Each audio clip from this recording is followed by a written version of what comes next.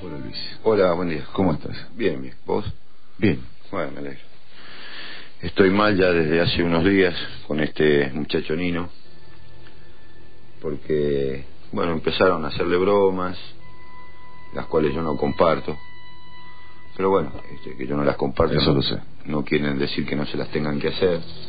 Reaccionó mal, traté de callarme la boca, traté de hablar con él y realmente no, no lo tolero más.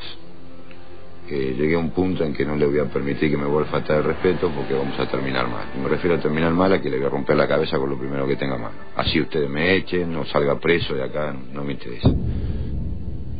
Estoy cansado de, de, la manera que tiene de expresarse con todo el mundo, con las mujeres, manoseándose la pistola todo el día. Realmente me saturó. Te pido que por favor me entiendas y si consideras que me tengo que ir, me voy, agarro mis cosas, me las pasan ustedes cuando quieran. Hasta ayer odiaba a todo el mundo. A partir de después de la, que terminó el programa, todo bárbaro, todo toma un jugo, comete la jengibre, comete, viste, la reverenda concha de tu madre. No lo aguanto más. Es, es, es, es, el querer sobresalir.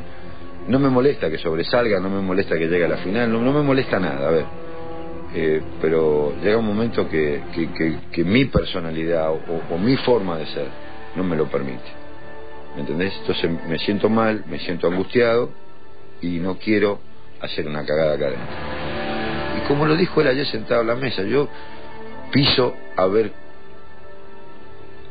eh, para ganar espacio. Pero esa no es la manera. Creo que el espacio se gana de otra manera. Siendo uno, no siendo un tarado mental desquiciado. Sé, voy a hacer todo lo imposible para estar bien y para para tratar de llegar a al fondo de esta cuestión y, bueno, si no llego, bueno, será porque no es mi destino o porque por lo que sea, pero no por una persona que creo que también a tu buen criterio, no hace falta que me diga sí o no, es una es un ser irracional, totalmente irracional.